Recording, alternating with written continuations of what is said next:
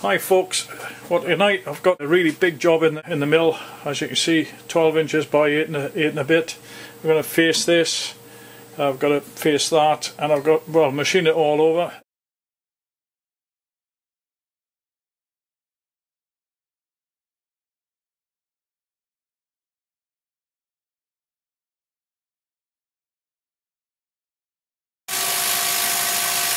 So here we are on the second cut. It's just cutting in that far corner as you can see uh, and it's quite noisy as you will hear.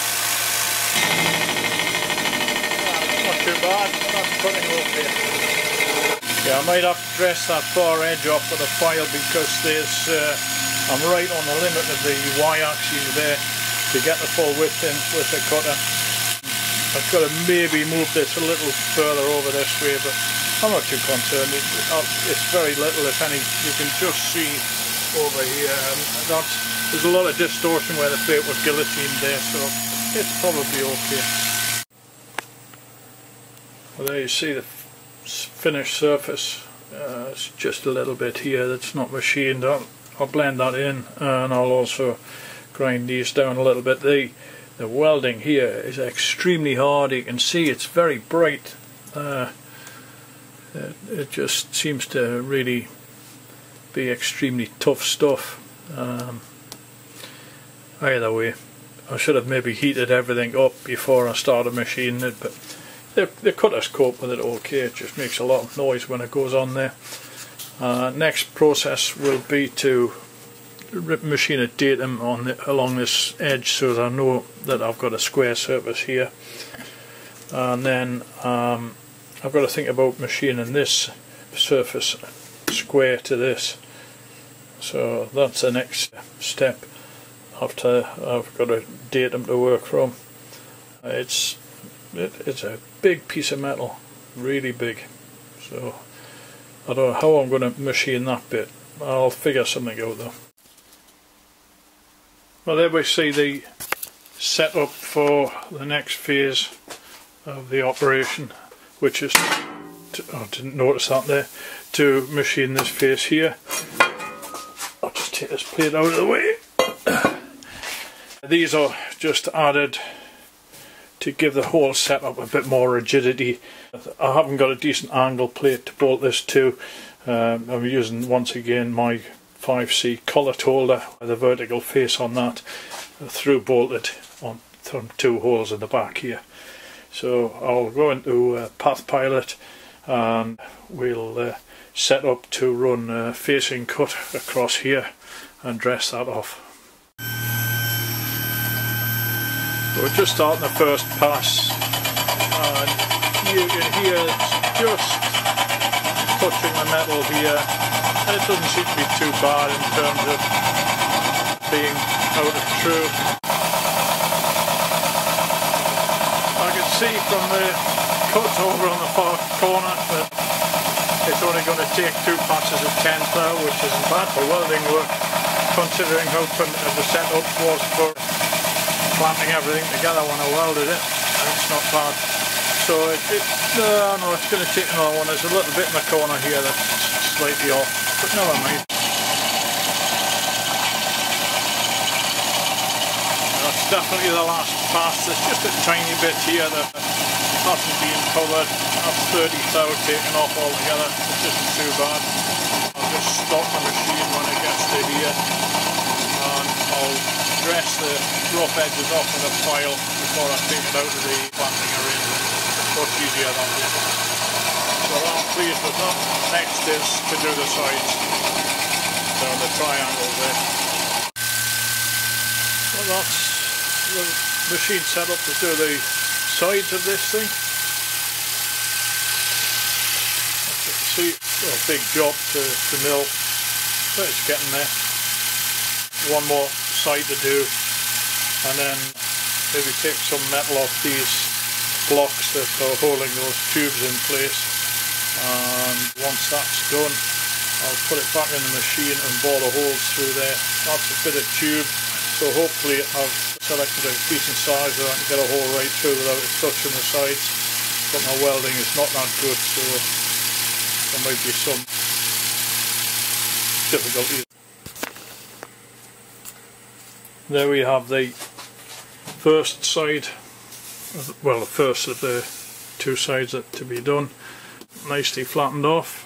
And that face is done. The bottom face just this lower face under here to do. And then boring out the holes for the other plate which swings. I'm just drilling the holes in this plate. Using Pathfinder conversational. I had a few problems with the drill and I might have more problems when it breaks through because this is this tube here is very slightly out of centre. Anyway we'll see what happens when I've done it all. Hopefully it'll be fine. So here we are just finishing the last of the, the holes in this thing. It seems to have gone okay. A few problems initially with the half inch drill, which is a little bit blunt and it kept slipping in the chuck. I want to clean the chuck up and reset everything. So this is going well and the holes seem to be reasonably in centre on the blocks of metal that are welded to the side. There's one, this, this hole here I thought would give trouble, but it didn't on the other side, so hopefully it won't on this. There you can see the finished angle plate type thing that I'm making. I'm just finishing drilling this, which is going to be the table that rides up and down or hinges from the one of the two lower holes. I will. Uh, I had a few problems with a blunt spot drill. It had been chipped. However, I managed to get it resharpened again on my tool and cutter grinder without too much trouble and we'll start and see what it goes like I'll just hit the start cycle and we'll see see how it goes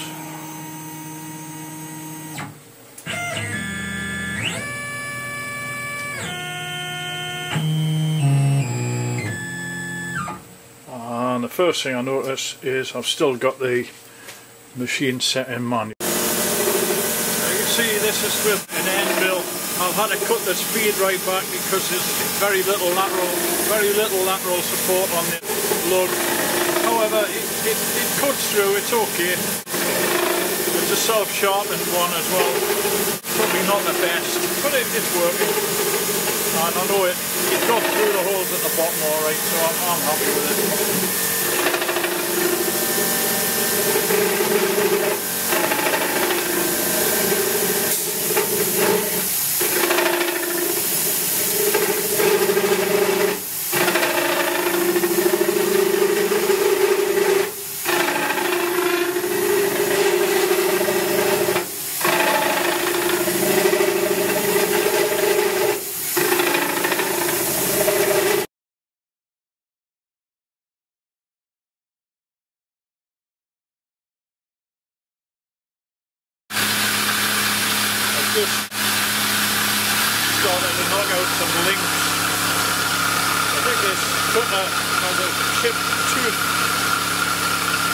Making a lot of noise for quite soft metal.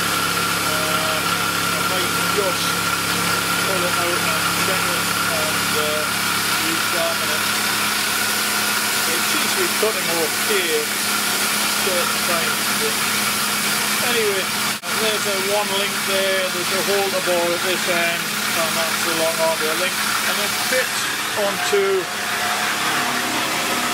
it will go onto here, between this hole here and this hole here, and provide a means of locking the table at different angles. And there you see the, the table that's it in a fully down position. I can mount it flat on the table from here, so I tilt the table up here. I might might cut away some of this to get a little more, although I can always take the rod off, I suppose. Yeah, I can mount it two different ways. So it's quite versatile really, and it's, it's fairly solid. We'll see what it's like in action. I'm, I'm only going to be using it for doing some drilling work which won't put a great deal of load on it. Well there you can see what I've been aiming at. Rotary table will go on here and it can be adjusted for up and down on this slotted link. Obviously the link's a bit short to get any higher than this angle. Well it will go a little bit higher maybe another 5 or 10 degrees. The main thing for me is I want to be able to mount it in in the vertical position with it set back this way so that the the axis of the table is pointing up over. Sorry is yeah I want it to let me get this right I do want it to go that way.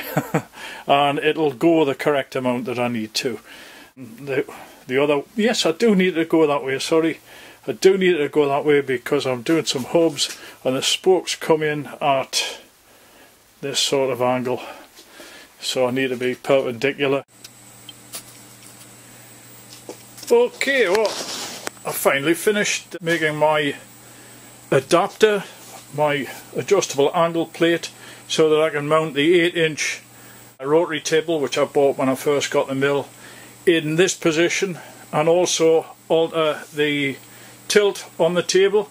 Uh, this is it here. It's pretty basic but it can be mounted vertically and it can be mounted in the horizontal position.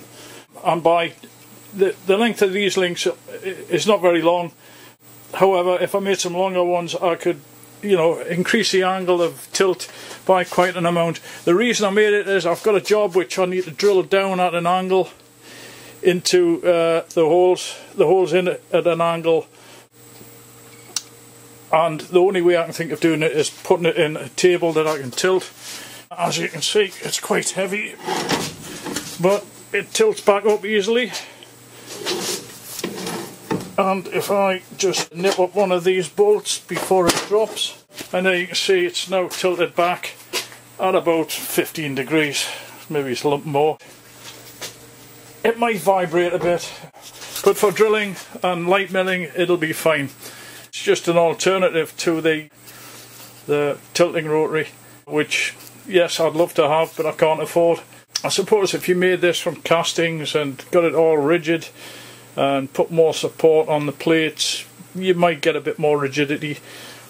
Also if you thicken these arms out which I could do made them a little bit stiffer on the hinge points. But basically it's fine for what I want.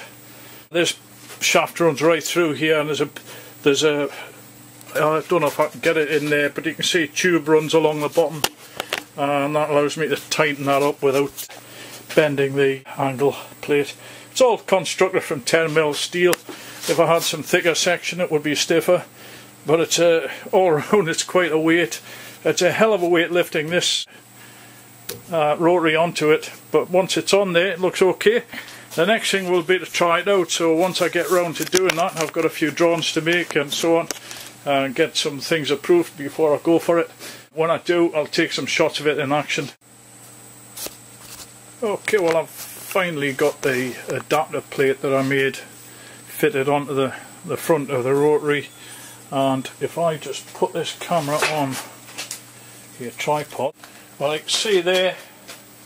This is the adapter, it's a screwed adapter and this is the deal that I'm going to be, I'll have to come up that way. So I've got to be able to swap the the head or the angle of the rotary table and this was the only method I could think of doing that with and I think that looks pretty good. I think it'll be sound enough for what I want to do.